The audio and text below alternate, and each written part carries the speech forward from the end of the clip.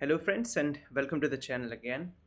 I'm Dr. Mohsen Raj. I'm a cardiology resident at AIMS New Delhi. So, uh, we understand कि एम्स में under graduation करना बहुत ही limited seats होती हैं है ना डेफिनेटली पोस्ट ग्रेजुएशन में भी लिमिटेड होती है बट स्टिल थोड़ा सा ज़्यादा नंबर होता है and plus you can have multiple attempts छः महीने बाद एग्ज़ाम होता है you can again try for AIIMS post graduation है ना तो नाउ पॉइंट ये है that many of you who are actually doing MBBS in state medical college, just like me, I was an MBBS student at GMC Srinagar. तो what's your mindset maximum लोगों का ये dream होता है कि AIIMS new Delhi से मेरा एम डी या एम एस हो आगे चल के मे बी डी एम या एम सी एच हो है ना ऑलमोस्ट हर एक मेडिको का ये सपना होता है ओके okay. तो the video is for the purpose कि आप how can you dream about it? And how can you actually achieve this goal? So, let's get started. बहुत ही practical सा video है। So, let me tell you, at my time, मैं 2017 में मैंने AIIMS join किया था। आई दैट टाइम उस समय I N I C T तो नहीं होता था। सेपरेटली एम्स का एंट्रेंस होता था पी जी आई चंडीगढ़ का होता था और नीट का अलग से एंट्रेंस होता था। So my ranks were in AIIMS I had all India rank sixteen in PGI, I had All India rank 11. So finally, I did my MD from AIMS New Delhi. So the point is, see, मैंने ऐसा किया हुआ है Many of the people I know here are undergraduates from state medical college. So others are doing it. So it's therefore definitely possible that you can do it. So first thing is first. It is possible. I have done it. Many others have done it. You can do it. That's the first point to understand. आप M B B S student हो, चाहे first year हो second third fourth whatever intern हो the first thing to remember is it is possible people are doing it second thing तो what does it take चाहिए क्या होता है AIIMS में? और I N I C T crack करने के लिए। See there is no secret मेरे पास कोई सीक्रेट नहीं, ना ही किसी और के पास कोई secret everything is so clear आप एम्स पीजी का पेपर ले लो, जो एम्स एंट्रेंस एग्ज़ाम होता था, या अब I N I C T होता होता है that's conducted by AIIMS only so get a paper there lies the secret वही है, उसी के लिए आपको प्रिपेयर करना है. And the second thing I want you to see go back and check the merit list of I N I C T और AIIMS P G entrance जो होता था. आप देखो पहले थर्टी रैंक्स और फोर्टी रैंक्स देखो. उसमें लिखा होता है साइड में द इंस्टीट्यूट अगर कोई एम्स न्यू दिल्ली का स्टूडेंट है ना यूजी तो उसका नाम लिखा होगा AIIMS new Delhi AIIMS new Delhi AIIMS AIIMS new Delhi तो आप देखोगे, जो फ़र्स्ट थर्टी रैंक्स होते हैं मे बी फोर उससे ज़्यादा नहीं होते AIIMS New Delhi that means most of the other top rankers are from other college please remember आप एक बार यूजी में एम्स में एंटर हो गए दैट्स नॉट अ गारंटी आप आगे भी सक्सेसफुल रहोगे। इनफैक्ट आप किसी पेरेफरल कॉलेज से हो if you work hard if your concept are more clear you can beat a person who is done is under graduation from AIIMS easy easy for you but you have to have the potential तो merit list check करो previous years के you will get to know top ten में not all are from AIIMS not all are M B B S from AIIMS may be one maybe two but remaining eight are from different college तो it is possible and what does it take just check the paper, just check the AIMS PG paper, just check the INICT paper. The the point is, जब आप वो paper check करोगे then you need to take a just go back and understand it understand करने का मतलब ये है कि आप उस पेपर की डिफिकल्टी लेवल समझो। See this is not going to be a straightforward question understand it हाँ there are some one liners in I N I C T और एम्स पी जी जो भी होता था there are some one liners but they are not many तो आपके जो questions construct किए जाते हैं they are sort of you know they they constructed by professors of AIIMS तो वो बहुत ही टैक्टफुली उन्हें डिज़ाइन किए होते दिल for example give a C T image और question exact C T scan की फाइंडिंग पे नहीं होगा मे बी उस कंडीशन के ड्रग ऑफ़ चॉइस पे होगा। डू यू अंडरस्टैंड दैट तो they want you to do multi step thinking आपके सामने क्लिनिकल पिक्चर रखी जाएगी। आप दिमाग में उसका डायग्नोसिस बनाओगे बट क्वेश्चन आपसे पूछा जाएगा, उसकी पेरिफिल ब्लड फ़िल्म में क्या मिलेगा? Okay so they might give you a description of vitamin B twelve deficiency and they want you to remember की that you have hyper segmented neutrophils on peripheral blood smear तो एक integrated approach चाहते हैं वो। So at this point of time, once you've seen the questions, once you know the difficulty level, तो आपको understand हो गया कि मुझे किस level पे prepare होना है। Okay? Then आप ये भी चीज़ उसमें फाइंड करोगे that they are giving extra emphasis on basic sciences आप अगर recent I N I C T papers खोलोगे you will see that the basic sciences they have a lot of questions आप पैथोलॉजी देखो physiology देखो biochemistry देखो बहुत सारे questions directly और इनडायरेक्टली आप बेसिक साइंसेस के नॉलेज से सॉल्व कर सकते हो। ओके okay, एक मेडिसिन वाला टीचर वो मेडिसिन में प्रेजेंट कर लेगा बट एक्चुअली वो आंसर आप बेसिक साइंसेस आप पैथोलॉजी पढ़ के दे सकते थे है ना? दैट्स द पॉइंट और फार्माकोलॉजी पढ़ के दे सकते थे। In fact it's true see medicine surgery is nothing but clinical और जो प्री क्लिनिकल सब्जेक्ट्स उनका उनका इंटीग्रेशन है। अगर आपने फार्मा अच्छे से पढ़ी है पैथो अच्छे से पढ़ी है you will invariably be good in medicine as well तो यहाँ पे आई ऑल्सो बिकॉज़ मैं फ्रीक्वेंटली कैप्लन मेडिकल के वीडियोस भी सजेस्ट करता हूँ अपने वीडियोस अपने मतलब गाइडेंस वीडियोस में. There is a reason why देखो, आप जो टिपिकल इंडियन जो टीचर्स उनसे पढ़ोगे फ्रॉम मैरो और फ्रॉम प्लेडो whatever source you're using और in for that matter DAMS से आप फ़िज़िकल कोचिंग करो।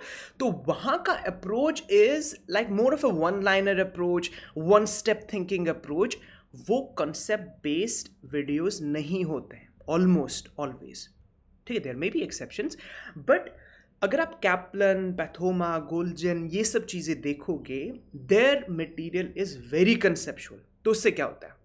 उससे आपकी अंडरस्टैंडिंग एक नेक्स्ट लेवल तक पहुँच जाती है सो so दैट अगर कल को आई एन आई सी टी में या next whatever you have to face उसकी लेवल चेंज हो गई, वो मोर ऑफ़ क्लिनिकल पेपर आ गया, उसमें more of correlation more of clinical integration आ गया you will be there you will be at the forefront आप क्वेश्चन सही मार्क करोगे.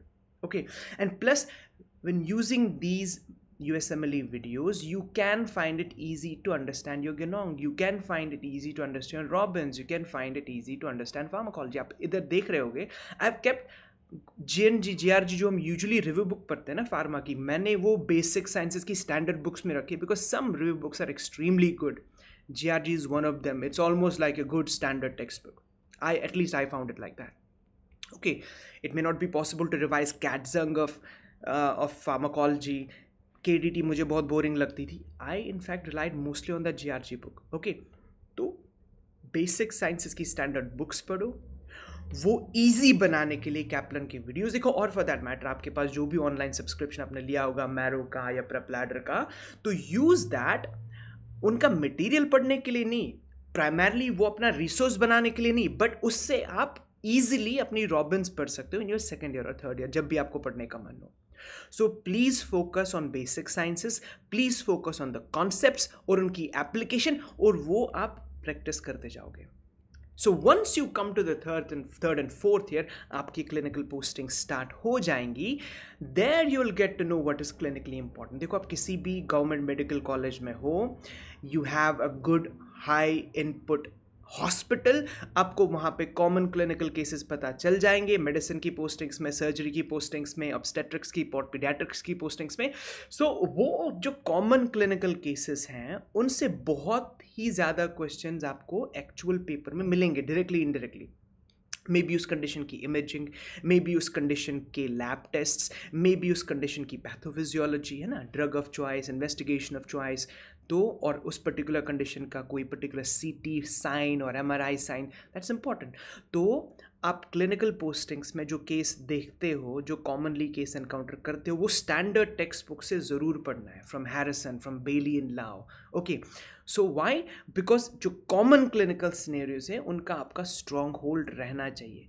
For that matter for example आप मेडिसिन के वार्ड में जाओगे you'll find a case of heart failure definitely तो heart failure का पार्ट आपको हैरिसन से पढ़ना होगा, एक दो बार पढ़ना होगा. ओके तो आज के स्टूडेंट्स क्या करते हैं they open up Marrow watch a heart failure video from Marrow read their notes जो वन लाइनर्स होंगे you will forget it after ten days and two months later आपको कोई आइडिया नहीं होगा उस टॉपिक का इन कंपैरिजन अगर आप आज एक स्टैंडर्ड टेक्स्ट बुक से पढ़ते हो this will have a longer retention और कल को maybe just prior to actual M C Q based exam you can read Marrow you can do M C Qs in all उससे आपको refresher हो जाएगा अपना जो कंसेप्ट है okay okay.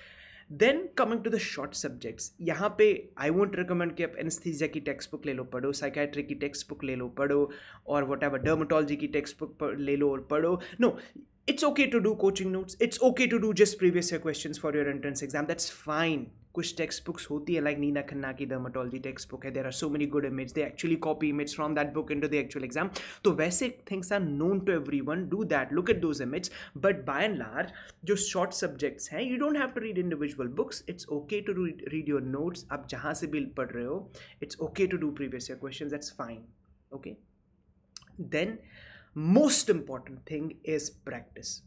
एक चीज़ मैं बताऊँगा yes AIIMS exam is difficult I I C T is difficult because less than one percent get a good clinical branch at AIIMS yes आपको एम्स न्यू दिल्ली में सीट चाहिए ना।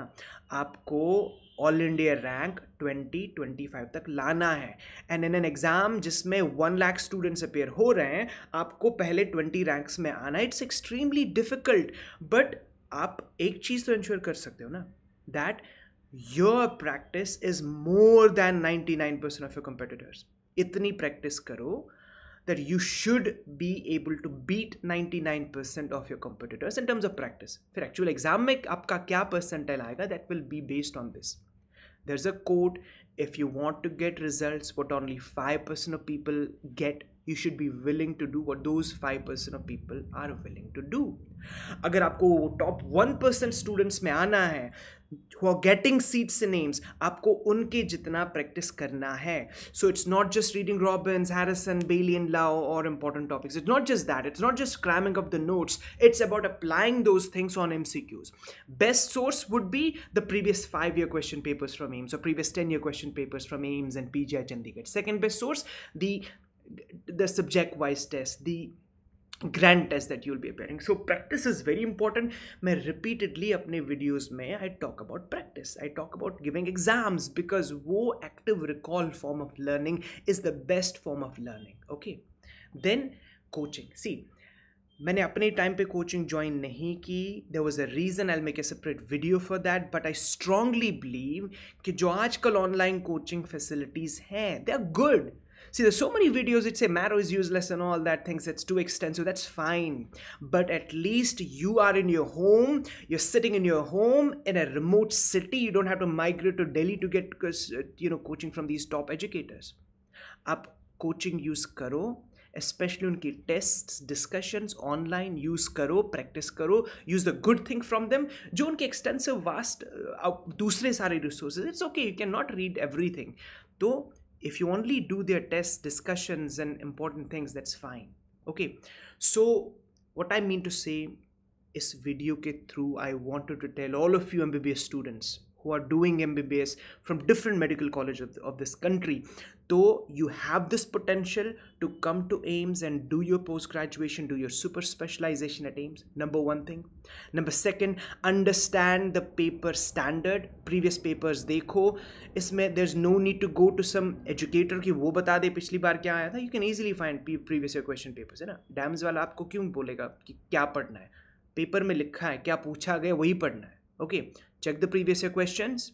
Third, you will find that there's a strong emphasis on basic sciences make your basic sciences strong it's not just for this entrance exam आप पूरी life ना अगर आपके basic sciences strong है ना you can master any specialty I swear by God आज भी I'm a DM cardiology resident I use things that I've learned way back in pathology way back in pharmacology okay so you have this you have the potential there are ways there are shortcuts I, I keep on frequently telling you this but एक चीज़ याद रखना है if you want to get that one percent result if you want to be among those top one percent और top point five percent आपको उतना hard work करना है जितना वो पॉइंट फाइव परसेंट लोग करते हैं।